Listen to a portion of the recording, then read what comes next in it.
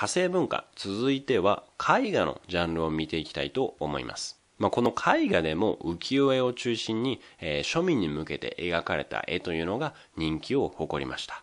まあ、でもこの浮世絵をちょっと見ていく前に文人画とか写生画と呼ばれるようなジャンルの絵も出てきてるのでこれをさらっと確認をしてしまいましょう。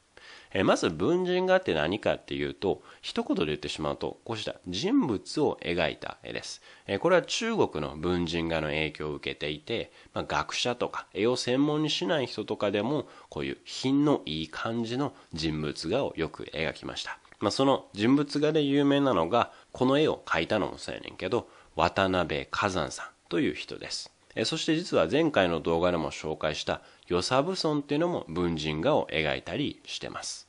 えそしてもう一つの写生画は、まあ写生っていうのはみんなも美術とかでやったことあると思うのでわかると思います。まあ風景とか物とかを描くんやね。えそのジャンルで有名なのは丸山応挙さん。応挙と呼ばれる人です。で、この人が得意としたのはこうした鳥を描いた絵。写生の中でもこういうのを得意としました。で、さらにこの大家さん、一つ面白いことがあって、みんな幽霊って言われたらどんなん思い浮かべるやろ？まあ、日本の幽霊って言われると足がない幽霊、しかも女の人の怖いのを思い浮かべるんじゃないかなと思うんやけど、実は足がない幽霊っていうのを最初に考えた、描いたのはこの王居さんじゃないかと言われてます。えー、その作品がこれです。怖いよね。もうザ・日本の幽霊という感じ。そして足元を見ると描かれてません。まあ、アメリカとかヨーロッパの幽霊って足とか描かれてたり、ゾンビやったりすると思うけど、日本の幽霊に足がないのは、この王居さんが描いた作品からと言われてます。まあでもこの文人画とか写生画はやっぱり品が良かったり、これも屏風に描かれてたりするので、まあ庶民というよりは力を持ってる人たち、まあもしくはお金を持ってる商人とかに人気を博した、えー、美術作品、ジャンルになってきます。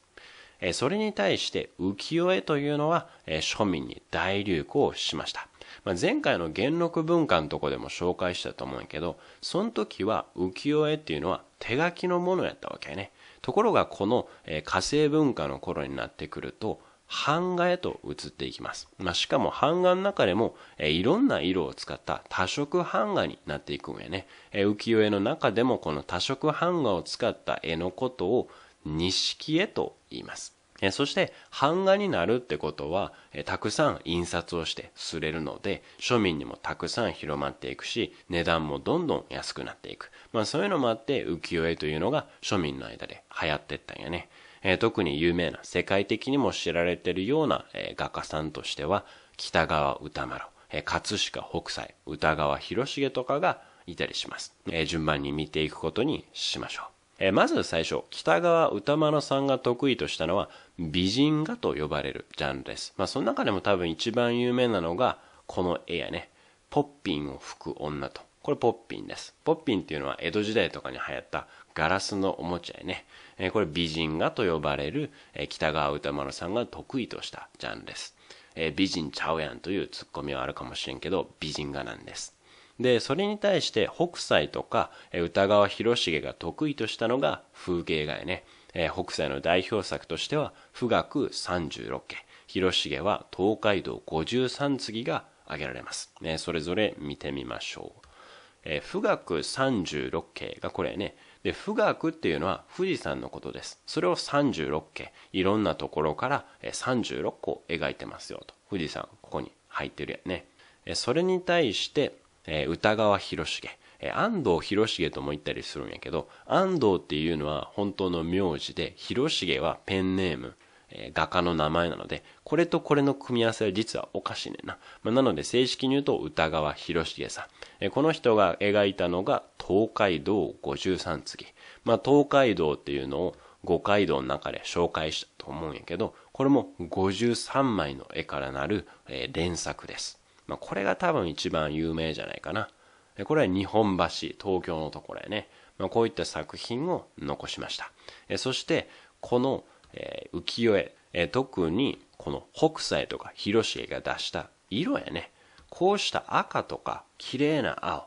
まあ、特に広重は広重ブルーとかとも言われたらしいんやけど、こういった色ってヨーロッパとかの絵だとなかなか出せないんやね。まあ、なのでこうした当時の作品っていうのはヨーロッパの画家たち、特に印象派と呼ばれた画家に大きな影響を与えました。えそしてこれは、え広重の東海道五十三次を模写して、ある有名な画家が模写して描いた絵です。まあでも色の感じとか全然やっぱり出せてないよね。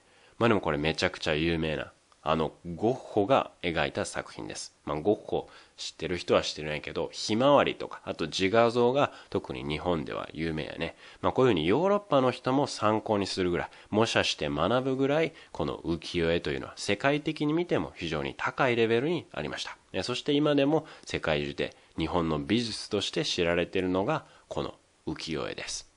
で、浮世絵、まあ有名なところとして押さえといてほしいのはこの3人やねんけど、まあ面白いので、ちょっと他にも見ていきましょう。この美人画や風景画とともに、まあ、庶民の間で人気だったのに、役者絵というのがあります。役者絵で有名なのは、東秀斎写楽さんやね。